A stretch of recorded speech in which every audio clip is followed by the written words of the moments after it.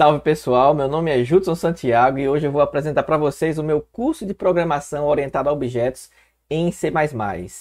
Mas por que fazer um curso de POO se já existem vários outros por aí? O que há de especial ou diferente nesse curso aqui? Qual é a motivação para esse curso existir? A primeira motivação é que C++ é uma linguagem que une três filosofias de programação. Ela une a filosofia estruturada, a orientada a objetos e a genérica. E aqui no canal eu tenho um curso de programação de computadores em C++ que utiliza apenas a parte estruturada da linguagem. Mas para ter um curso realmente completo de C++, eu preciso então cobrir a parte orientada a objetos e a parte genérica. Bom, como eu quero ter esse curso completo aqui no canal, essa é a primeira motivação. A segunda motivação, pessoal, é que os alunos que fazem esse curso base de programação de computadores, eles sempre me pedem a continuação do curso, que aborde a parte orientada a objetos e essa parte genérica. Eles gostam da profundidade, da forma como eu abordo os assuntos, então eles sempre me pedem mais. A terceira razão é porque eu também tenho um curso de programação de jogos, computação gráfica e compiladores aqui no canal. E esses cursos eles usam C++ com orientação a objetos. Então eu preciso fechar essa lacuna para que o aluno possa transitar de um curso para outro sem precisar buscar nenhum conteúdo fora do canal. Então, os meus alunos do curso de Ciência da Computação da universidade, eles veem PO em Java. Então, eles conseguem se virar e acompanhar os meus cursos mais avançados, mas ver PO em Java não é a mesma coisa, né?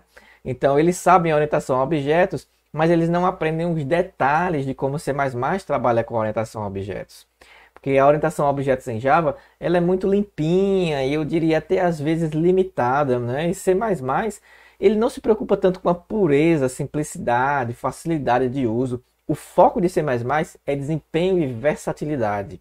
Então ele trata a PO como uma ferramenta a mais na mão do programador. Ele coloca o poder na mão do programador sem tentar te limitar, sem tratar o programador como se ele não soubesse o que ele está fazendo.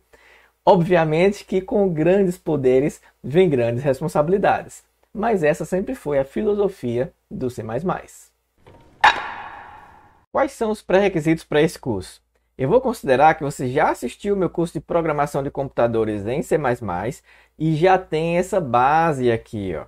Então vejam que eu vou considerar que você já sabe fazer entrada e saída, usando C e C out, sabe os tipos básicos, int, float, char, bool e as suas variações, sabe os tipos compostos, vetores, registros, uniões, enumerações, sabe usar os operadores aritméticos, lógicos, binários, sabe utilizar condicionais, if, switch, sabe repetição, o for, while, do while, tratar arquivos texto e binário, e sabe usar ponteiros e alocação dinâmica de memória usando o new e o delete. Então, esse curso aqui, pessoal, ele vai ser uma continuação para quem já viu o meu curso base, ou então para quem já tem uma boa noção dessa base aqui. Eu não vou rever esses assuntos durante o curso. Bom, qual é o objetivo do curso? O objetivo é esse aqui, pessoal: aprender a construir programas usando os conceitos e a sintaxe da programação orientada a objetos e da programação genérica na linguagem C++. Então, o objetivo é levar vocês do nível básico intermediário, que vocês já devem se encontrar ao terminar o meu curso base, para o nível avançado de programação com C++. Depois desse curso aqui, vocês terão tudo que um programador precisa para atuar profissionalmente com jogos, com computação gráfica ou com tudo mais que vocês quiserem fazer com C++ por aí. Bom, qual será o conteúdo do curso? Eu dividi esse conteúdo em quatro módulos, pessoal. Então, no módulo 1, nós vamos cobrir a parte de classes e objetos, construtores e destrutores, sobrecarga de operadores, funções amigas, conversões para classes. No módulo 2, nós vamos ver classes e memória dinâmica, construtor de cópia, herança, funções virtuais, classes abstratas. No módulo 3, nós vamos ver composição de classes, templates de classes, herança múltipla, classes amigas, exceções e RTTI. Último módulo eu reservei ele para a STL, para a Standard Template Library. Então eu vou abordar containers, iterators, a classe string, functors, smart pointers, initializer lists. Então veja que esse é o conteúdo do curso. Mas o que é que não vai estar no curso? Então observe pessoal que essa parte de coroutinas, concorrência, concepts, ranges, módulos tá? e as adições do C++ mais recentes que não têm uma relação direta com a orientação a objeto, eu não vou cobrir aqui nesse curso. Essas adições eu vou cobrir no canal, mas não nesse curso aqui. Eu vou cobrir na playlist de C++ moderno que tem no canal. Lá eu vou trazer esses conteúdos de uma forma isolada e em vídeos mais curtos, tá? Então fiquem antenados porque aos poucos eu vou trazendo esses conteúdos para o canal. Bom, mas que ferramentas vocês vão precisar para poder acompanhar o curso? Então vocês podem usar qualquer compilador, editor de código, IDE de sua preferência.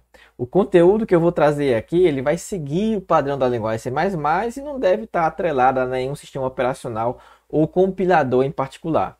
Mas dito isso, eu recomendo que vocês usem um dos três principais compiladores de C++, que é o G++ no Linux, o Clang no macOS ou MSVC no Windows. Né? O MSVC é o compilador que vem junto com o Visual Studio. Nesse caso, o Visual Studio 2022 é a última versão. Tá? E sobre IDS, pessoal, eu particularmente uso a versão mais atual do Visual Studio. E eu tenho uma cobertura extensiva sobre ele aqui no canal. Eu gosto do Visual Studio porque ele é uma ferramenta construída para profissionais. Se você quer entender exatamente o que eu quero dizer com isso, dá uma conferida no card aqui, onde eu vou colocar um vídeo para vocês.